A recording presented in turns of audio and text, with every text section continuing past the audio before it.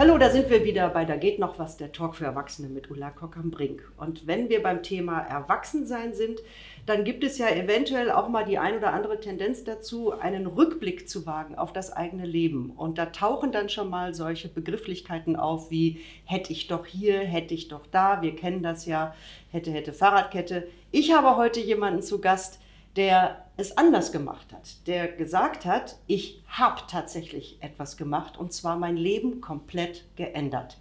Von der erfolgreichen Medienmanagerin zu etwas ganz anderem, darüber spreche ich jetzt mit Karina Teutenberg. Und ich freue mich sehr, dass du hier sitzt, liebe Karina. Herzlich willkommen. Dankeschön, ich freue mich auch sehr. Sag mal, wann hast du gemerkt, dass die Fernsehbranche die richtige Plattform für dein Leben ist? Also dieses Brennen für die TV-Branche. Wann hast du das gemerkt? Das habe ich total früh gemerkt. Also ich glaube schon, bevor ich überhaupt direkt mit dem Fernsehen zu tun hatte, und zwar habe ich mit meiner Oma immer nach der Schule die Talkshows früher geguckt. Ach, in den 90ern? Äh, in den 90er Jahren, genau. Also Mitte der Co. 90er Jahre Ja. Bärbel Schäfer, äh, Arabella Kiesbauer Richtig. und so weiter. Das war ja ganz schön krawallig, ne? Ja, das wurde auch vor allen Dingen immer Ja. krawalliger. Ich glaube, so am Anfang, in der ersten Zeit war das noch gar nicht so extrem. Auf jeden Fall fanden wir es super. Ja. Also meine Oma und ich, wir waren sowieso ganz dicke und wir haben das immer zusammen geguckt und meine Oma meinte irgendwann, Mensch, Inchen, mein Spitzname, Ja. willst du denn nicht auch mal zum Fernsehen und so eine Sendung machen? Habe ich gedacht, ja, kann ich irgendwie, glaube ich, ganz gut. Ich rede ganz gerne und ich bin ganz gerne so präsent und auf Ja. der Bühne. Und da kam dann damals schon die Idee. Und in der äh, Abi-Zeitung stand schon drin, will die zweite Vera am Mittag werden. Nein, Ja, das ja, ist ja. dir ja nicht gelungen. Das ist Vor mir nicht gelungen, genau. auch nicht. Also es ist kein Bashing, sondern ihr seid liegt am Fasten, aber dazu kommen Ja, wir genau, dazu kommen wir nämlich später. Du hast eine mega Karriere hingelegt. Wenn wir das jetzt mal im Schnellvorlauf so machen, äh, welch, was sind die wichtigsten Stationen für dich gewesen, äh, bis ich einhake, weil ich da was mehr wissen will? Okay, gerne. Also ich habe angefangen beim Fernsehen bei Uli Meier, bei Ulrich Meier, bei der Firma Meta, bei der Akte. Da habe ich mein Volontariat gemacht. Dann bin ich da auch äh, drei, vier Jahre als Reporterin gewesen, viel auch als Reporterin vor der Kamera. Dann war ich äh, freiberuflich tätig, war auch bei der Firma Medienkontor. Da hab haben wir uns ProSieben- kennengelernt, Da haben genau. wir uns kennengelernt, genau. Ähm, habe dann auch viel für ProSieben schon gearbeitet und dann gab es irgendwann den Ruf, äh, zu ProSieben zum Sender zu kommen. Und das habe ich dann auch gemacht und bin dann äh, beruflich nach München gegangen, bin weiterhin in Berlin wohnen geblieben. Mein Mhm. Mann ist auch hier in Berlin, aber habe dann in äh, München gearbeitet als leitende Redakteurin Das zunächst. ging aber flott, ne? Das ging dann relativ flott, ja. Also ich hatte vorher immer noch so als Redakteurin, Reporterin, dann mal als CVD, Chefin Mhm. vom Dienst heißt das, also das ist so unterhalb der Redaktionsleitung gearbeitet. Und dann äh, ging das in München eigentlich richtig rasant los. Was glaubst du, warum das passiert ist? Du wurdest ja am Ende Senior Vice President der gesamten Pro7 Sat1-Gruppe Richtig. im Factual-Bereich, also alles, was News angeht. Genau. Was, was, was gehört noch dazu? Galileo. Genau, da Äh, gehören alle Magazine ja. dazu. Also man kann sagen, es ist alles, was nicht große Show ist, also so Joko und Klaas oder Stefan Mhm. Raab, das gehört nicht dazu oder gehörte nicht dazu. Und alles, was Fiktion ist. Also auch Frühstücksfernsehen hast du gemacht. Also Genau. Du hast es verantwortet. Genau, ich habe es verantwortet. Was muss man dafür können? Was muss man dafür können? Also ich glaube, man braucht ein großes Interesse an den Themen der Zeit, Ja. an den Themen, die die Leute gerade bewegen oder interessieren, aber auch natürlich an denen, die die äh, Zuschauer zu Hause unterhalten. Also es muss ja nicht alles immer nur, nur schwer und ernst sein. Stichwort. Infotainment, also diese Mischung Genau. aus Information und Unterhaltung Genau. ist ja wichtig. Genau. Also dieses Gespür, glaube ich, braucht man und man braucht das große ehrliche Interesse dafür. Aber das ist erstmal die Grundlage. Ich glaube, was wichtig ist, ist, weil sowas ist ja keine One-Women-Show oder One-Man-Show, sondern das hat ja immer mit Teams zu tun. Und was ich ganz gut kann, ist, die richtigen Leute zusammenzubringen für ein Projekt. Mit der richtigen Art. auch. Mit der richtigen Art Ja. und mit der richtigen äh, Laune auch Ja. gemeinsam zu arbeiten. Und ähm, das ist mir, glaube ich, so immer ganz gut gelungen. Und dann äh, habe ich schon die Fähigkeit und viele meiner Kolleginnen und Kollegen natürlich auch Mhm. oder meiner Ex-Kolleginnen und Kollegen natürlich auch, ähm, eine Vision, eine Idee zu entwickeln, wo das Ganze hingehen soll. Und dann sollte man noch wissen, wie man es macht. Also Und- wie man da hinkommt. Ich glaube, Ja. das sind so die Grundlagen. Wenn ich mir das so anhöre, das alles klingt so mega nach einem Vorstandsposten. Und wir brauchen in Deutschland ja weibliche Vorstände. Und ich, ich spüre, ich weiß es aber nicht genau, dass du kurz davor standst, äh, ein Vorstand zu werden. Das weiß ich nicht. Vielleicht wäre das irgendwann ja. mal gekommen, wenn ich dabei geblieben wäre, aber das bin ich ja nicht. Warum hat die Flamme fürs Fernsehen aufgehört zu brennen?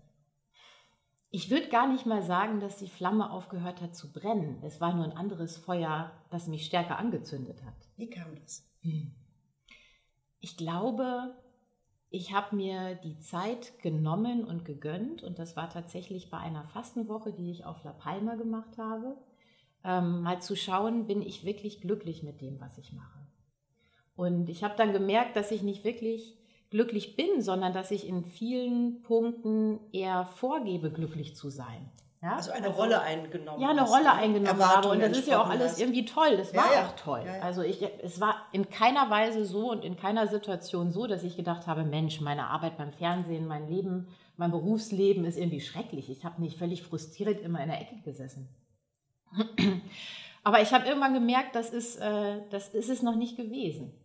So. Und ich habe einfach Lust verspürt, etwas zu machen, wovon ich keinen Urlaub brauche, sondern wo ich das Gefühl habe, ich führe ein Leben, das keinen Urlaub braucht. Das sondern ist aber das ein Luxus, ein Luxusgedanke. Absoluter ne? Luxusgedanke, das weiß ich auch und ja. das ist auch ein Luxus, aber ja, in dem Moment habe ich dann äh, einfach gemerkt, ich bin nicht wirklich glücklich mit dem, was ich tue. Mhm. Ich gebe zwar vor, glücklich zu sein, und das habe ich mir und anderen, glaube ich, auch immer sehr überzeugend vorgespielt. Ja, zwischendurch hat man ja auch zufriedene Phasen. Ja, also das ist ja nicht so, dass also, du die ganze Zeit Mimimi da Nein, überhaupt Ecke nicht. Überhaupt nicht. Wie, ich, ne? wie ich sagte, ja, ja. Ne? also es ist überhaupt nicht so, dass ich permanent unzufrieden gewesen bin. Also die Zeit beim Fernsehen, die Arbeit, die ich da gemacht habe, die war super.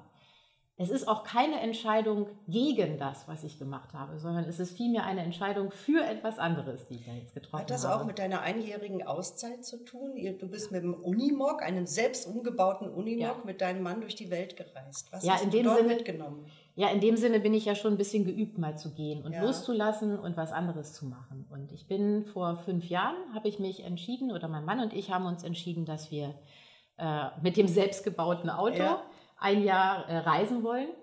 Und damals habe ich dann meinen Job äh, als Chefredakteurin bei Pro7 Sat1 aufgegeben und bin dann 13 Monate durch die, durch die Welt gereist. Und da habe ich schon gemerkt, Mensch, vielleicht gibt es noch was ganz anderes im Leben.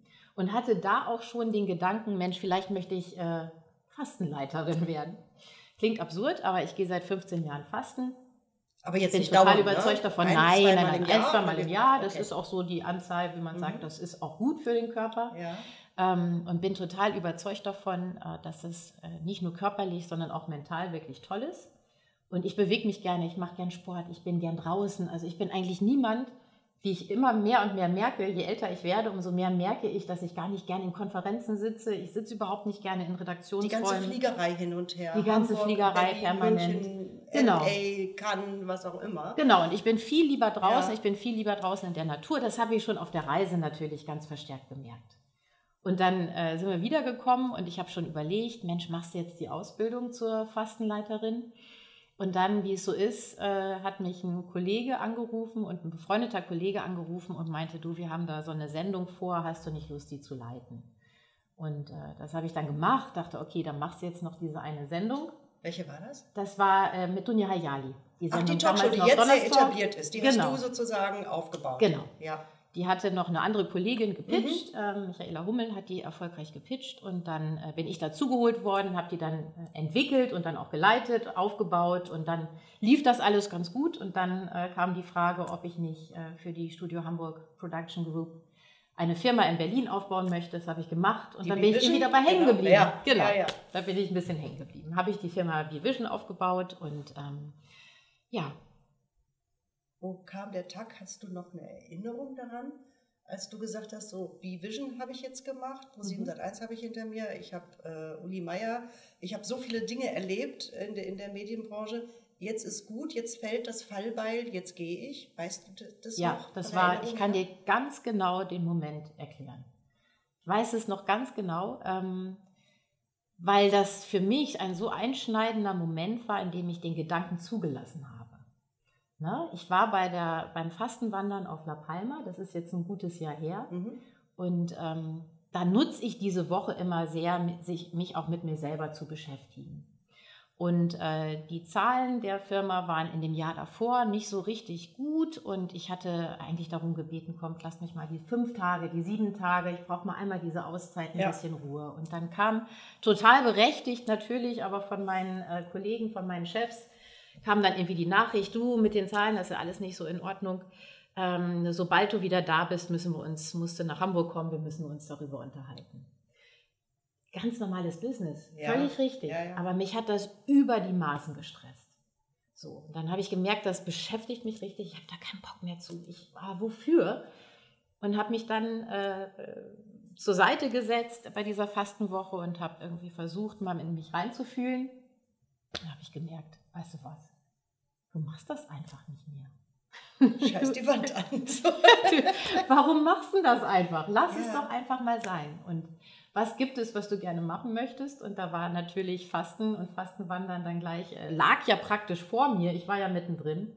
Und dann habe ich mich eben entschieden äh, zu gehen. Und jetzt gibt es sunnysidefasten.de in genau. Brandenburg mit Karina Teutenberg. Jetzt gibt es. Bye bye Fernsehen, Hello Gesundheit. Genau. Auch mentale Gesundheit. Vielleicht. Auch mentale Gesundheit. Was passiert beim Fasten? Was passiert beim Fasten? Also das ist äh, wahrlich nicht nur, ich höre auf zu essen, sondern äh, Fasten hat Minimum, oder so eine Fastenerfahrung hat Minimum drei Dimensionen. Mhm. Das heißt zum einen natürlich die körperliche, das, was äh, physiologisch im Körper passiert. Man wechselt, wenn man nicht isst äh, und man bleibt beim, äh, beim Fasten unter etwa 500 Kilokalorien am Tag. Das heißt, man wechselt in den sogenannten Fastenstoffwechsel. Das ist vor allen Dingen ein Fettstoffwechsel. Und äh, man entlastet in diesem Sinne, man, man unterstützt die Entlastung des Körpers in jedem Bereich, also die Entgiftung des Körpers. Man macht das nicht künstlich, Aber sondern. Überlebt, das übernimmt doch normalerweise wissenschaftlich betrachtet die Leber. Und Schlacken gibt es auch nicht. Wissenschaftlich erwiesen gibt es keine Schlacken. Keine Schlacken im Sinne von ja, irgendwie so Schlacken, wie man sie aus irgendwelchen Öfen ja, oder genau, sowas kennt. Genau. Nein, das nicht. Aber es gibt natürlich Giftstoffe, es gibt Säuren, etc. und äh, ja. durch Fette gebundene Giftstoffe natürlich im Körper. Und wir unterstützen beim Fasten die Ausleitung dieser, dieser Giftstoffe. Das und das funktioniert, Hokus, indem man erstmal den Darm entleert. Und genau, zwar so richtig. Richtig. Ist das schlimm? Das ist Leute? überhaupt nicht schlimm. Weil es da gibt ja immer so. Ja, ja, ja, ja, genau. Das ist, glaube ich, die ja. größte Sorge bei den meisten. Ja, Fasten finde ich irgendwie ganz super. Ähm, aber es gibt zwei Sorgen. Ne? Ja. Es gibt einmal die Sorge, ich kann aber doch nicht ohne Essen.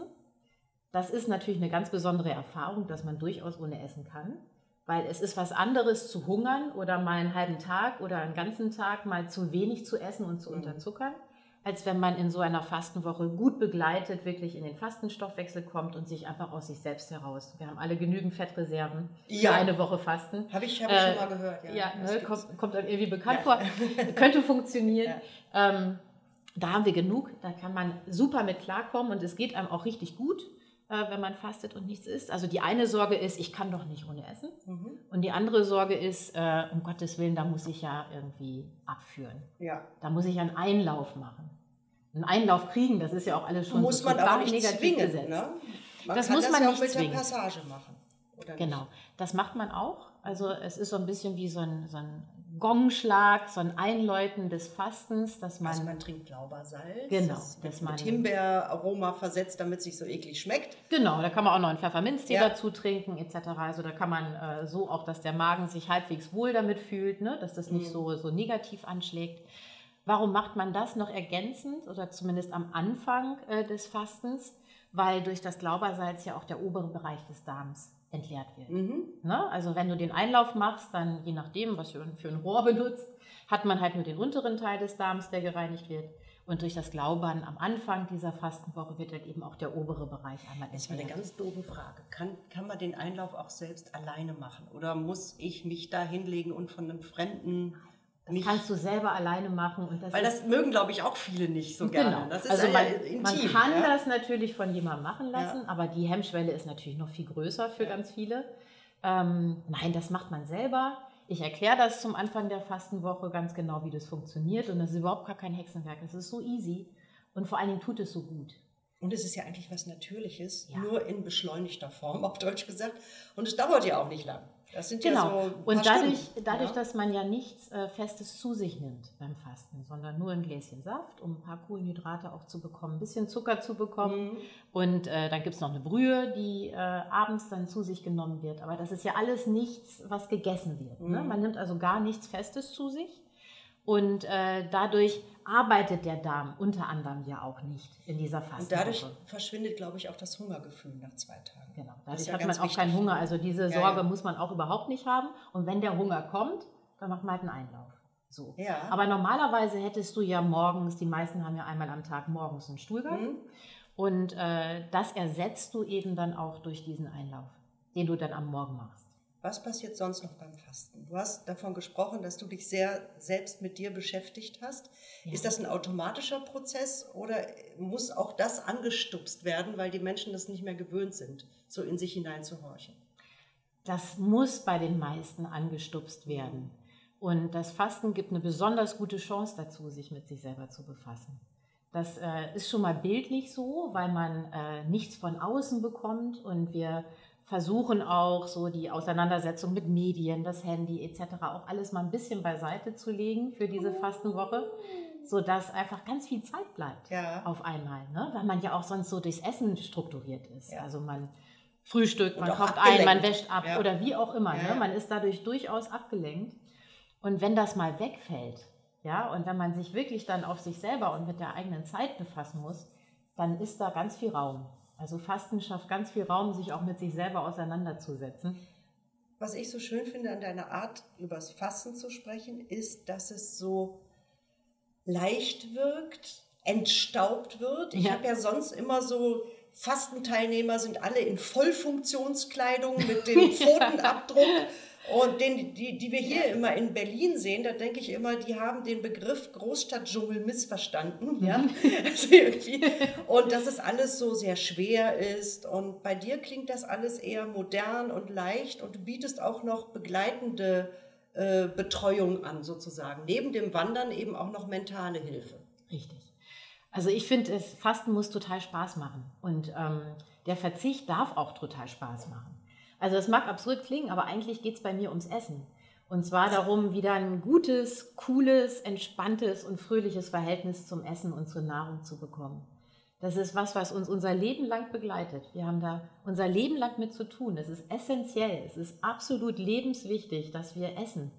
Und was machen wir uns da für den Kopf?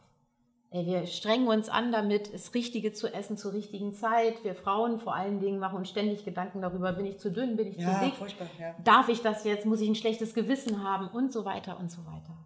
Und das Fasten gibt die Chance, mal einmal auf Null zu setzen und dann zu gucken und für sich selber wieder ein Gefühl zu kriegen, das ist was Gutes. Wie toll ist das, dass wir jeden Tag genießen und essen ja. dürfen und dass das richtig Spaß machen kann. Das heißt, dass man auch wieder die Intuition an, an der richtigen Menge entdeckt, weil man ein anderes Körpergefühl bekommt. Ist das so richtig. ein bisschen so? Absolut. Ja? Dass man das, der Begriff ist jetzt so abgegriffen, Achtsamkeit irgendwie schon, ja. aber das ist es im wahrsten Sinne des Wortes, dass man, wenn mal alles weg ist, wieder ein Gespür dafür kriegt, warum esse ich jetzt eigentlich? Was esse ich da? Was tut mir gut? Und wie wichtig, wie schön ist das? Das ist nichts Böses. Essen an sich ist nichts Böses, sondern was ganz Tolles. Kommen wir jetzt mal neben der Darmentleerung zum nächsten unangenehmen Thema, ja. was manche auch scheiße finden. Ja. Das sind die Kosten. Ja. Also ich habe mich mal erkundigt, ich war einmal Fastenwandern. Ich kann übrigens das unterschreiben, obwohl das unter Umständen stattgefunden hat, die wirklich nicht sexy waren. Mhm. Also die Umgebung war nicht schön, die Zimmer war nicht schön, aber das Fasten selbst und das Wandern hat totalen Spaß ja. gemacht, ja. Und auch das Körpergefühl war schön danach. Aber dann habe ich mich vorher erkundigt, in irgendeiner Klinik, wo man das machen kann, dreieinhalbtausend Euro pro Woche. Mhm. Für nichts essen. Ja, für nichts also, essen. Also, das genau. mache ich nicht mit. Was kostet das bei euch?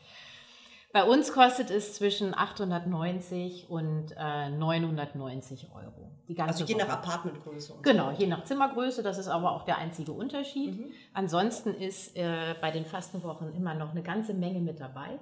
Du hast es eben schon mal kurz angesprochen. Also man kann bei mir auch noch ein Personal Training. Also ich kümmere mich vor allen Dingen um die sportlichen und Ernährungsthemen in meinem Team.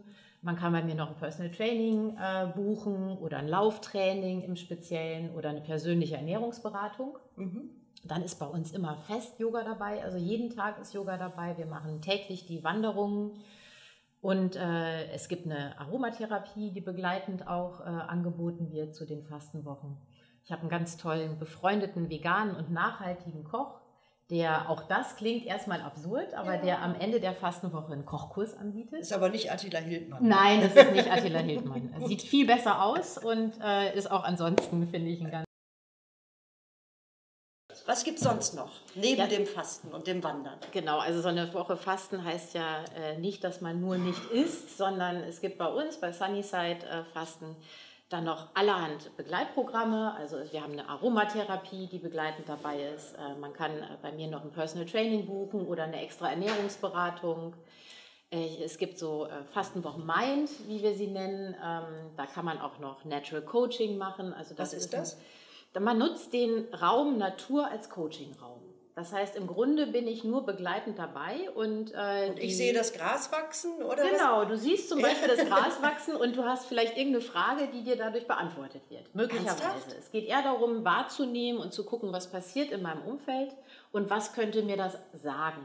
Nicht als Orakel, sondern vielmehr, was löst es vielleicht bei mir aus, was ich da gerade sehe. Und das heißt, ich kann Assoziationen haben, wenn ich genau. einen uralten Baum sehe, dann denke ich vielleicht an meinen verstorbenen Vater äh, und, und, und denke irgendwie, oh, das war eigentlich der Baum in meinem Leben, der ist jetzt weg, was hat mich da eventuell entwurzelt. Also so, solche Geschichten passieren da? Absolut. Du kannst ah, ja. sowohl nach hinten blicken, du kannst es auch einfach auf dich zukommen lassen, einfach ja. gucken, was dir begegnet, was passiert. Aber du kannst natürlich auch mit einer Fragestellung in die Natur gehen. Ne? Und du kannst da rausgehen und sagen, okay, was sollte ich jetzt machen? Oder woran hängt es, dass ich mich jetzt nicht da und dafür entscheiden mag? Das heißt, es gibt eine Möglichkeit, dass die Natur mir Antworten auf existenzielle Fragen, die mich betreffen, geben könnte. Das klingt nee. so ein bisschen. Hm. Genau, nee, die Natur gibt dir die Antworten nicht, die gibst du dir schon selber. Danke. Die Natur ist nur diejenige, die unterstützt und dir vielleicht hilft, so ein bisschen auf Gedanken und auf Wege zu kommen. Okay, das ja, kann die ich bisher nicht, ja. Die bisher nicht offen sind, nicht klar sind für dich. Ja. Und da begegnet dir irgendetwas, weil du mit offenen Augen durch die Natur gehst. Und das ist eine Anregung für dich. Mehr ist es eigentlich nicht, mhm. aber man kann da schon, wenn man dann sich die Zeit nimmt und die Ruhe hat, da wirklich eine ganze Menge erfahren. Also es gibt Natural Coaching Möglichkeiten bei uns bei den Fastenwochen. Mind, Body, Body und Soul. Ernährung und Soul. Und Soul, genau. Das ist dann die etwas spirituellere Richtung. Ja. Ähm, für manche ist das besonders wichtig. Die suchen dann mhm. gerade auch in so einer Fastenwoche so ihre eigene Spiritualität. Mhm. Für andere gar nicht. Deswegen gibt es eben auch die Bodywoche, ja, ja. Ne, wo es halt eher um Sport und äh, Bewegung und Ernährung und so weiter geht. Und in der, in der Soul-Woche, da ist, das ist die Seelenwoche, die spirituelle Woche. Da ist dann eben auch eine Schamanin mit dabei und dann machen wir Feuerzeremonien. Das geht dann so in die Richtung.